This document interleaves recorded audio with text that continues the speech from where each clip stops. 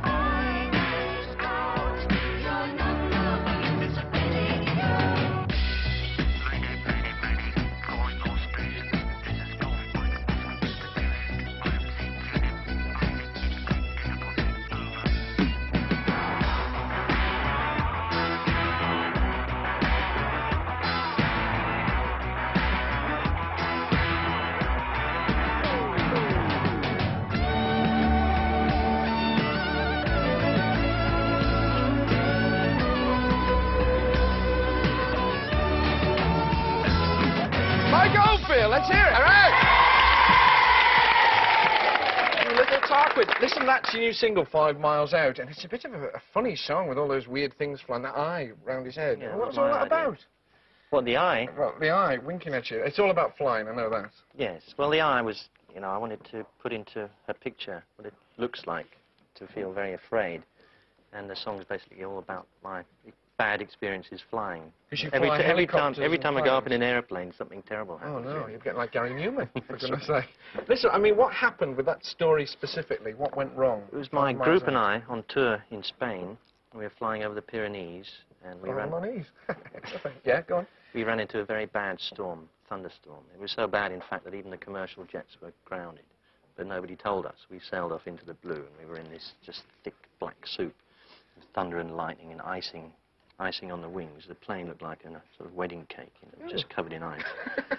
and we were getting buffeted around, lightning. At one point, he had the engines turned completely off, and we were being funneled out the top of this huge, huge, monstrous cloud, at about 200 miles an hour. So what, you thought you were going to get killed? Definitely did, yes, we all did. And what happened? We carried on through. It lasted another half an hour of pure hell. And um, there was one point we came out of the cloud, and it was the sunshine. Just beautiful. You know, like being reborn.